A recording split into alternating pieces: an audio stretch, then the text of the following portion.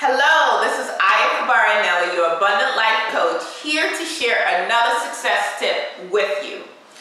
Have you ever thought about the words that you use when you're talking to yourself? I know that might sound crazy, but isn't that what we do? We talk to ourselves all the time. There's this constant chatter that's going on in our minds. And I'm here to tell you today that it's incredibly important that you pay attention to the words that you're thinking, what you're saying to yourself, and definitely what you're speaking. Because there is the power of life or death in your words. As a matter of fact, what you say can either strengthen you or weaken you. And when you're in a weakened state, of course, it's easier for you to then be taken out by a whole host of things. So let me demonstrate I'm talking about. I'm gonna have my handy dandy assistant, my daughter Anna, join me at this time. So Anna, I know that you have no idea what we're about to do, so just go with the flow, okay? Are you left-handed or right-handed? Like what hand is your dominant hand that you use most often? Right-handed. You're right-handed, okay. So what I'm gonna ask you to do is I'm gonna ask you to put your, your arm out and to hold it up, your, your right arm out and to hold it up as stiff as you can. So let's move you this way so that they can see you, right?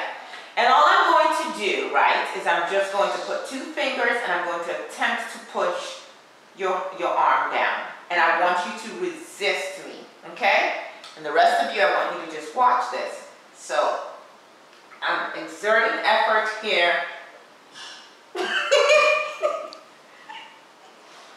Just two fingers. Maybe I need my whole hand. Let me try my whole hand. Okay. Okay. So you see how much effort that took.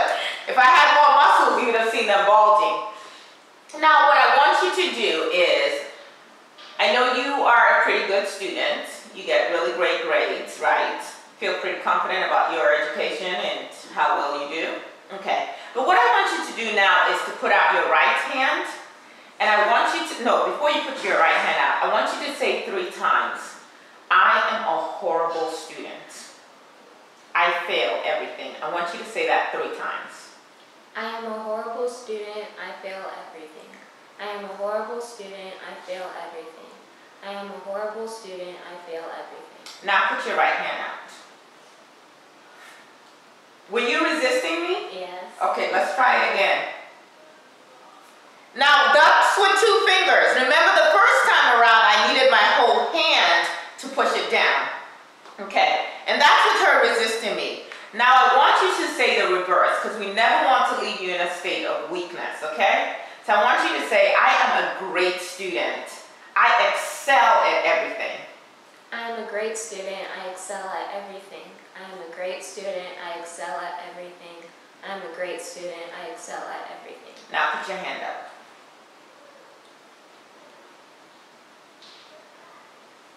Okay, I'm gonna try with my whole hand. Okay, I couldn't get it down. Now, have we practiced this before? Yes. When? Um, we did like a family meeting. We did a family meeting and I had you guys do this, right? Did you remember that lesson? Yes. Is that something that you try to use in your life or had you forgotten the lesson? Uh, I remembered it at the last tournament because like I used affirmations before the tournament. Oh, in your last tennis tournament. And you realized that if you spoke positively to yourself, you could actually strengthen yourself. All right, so you can stay with me till I finish this piece. So the point I was trying to make with this is, and you can try this with your own arm, or you can get someone else and, and try this exercise yourself.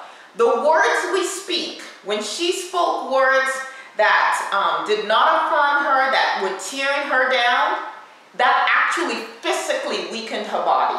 The same thing is happening to your mind. You're weakening your mind. When you speak words that affirm and build you up, you actually strengthen yourself, right? So I want to encourage every single one of you. This is an incredible success tip. Always speak affirming words to yourself. Care what the situation is. Let's say you're not feeling well, right? You literally do have a headache, a migraine, you can't open your eyes, whatever. Don't say, I am sick. You weaken yourself. You can say, I don't feel good, or my head hurts. You can be specific about it. You don't have to lie about what you're feeling. But when you say, I am sick, it's like you are owning that. You're speaking that sickness into your body. When you're working on something and you're dealing with obstacles, instead of saying, I just can't do this, this is horrible, I'm not good at any of this, just say, right now, I'm having difficulty with this. That's very different. One is tearing you down, one is speaking specifically to the situation without tearing who, tearing who you are down. Because every time you think or say something negative about yourself, you are tearing yourself down. And in a broken down state, how can you be successful? How can you live your abundant life? So if you want more tips, stay tuned in or contact me for your complimentary consultation, your abundant life coach. Thank you. Okay.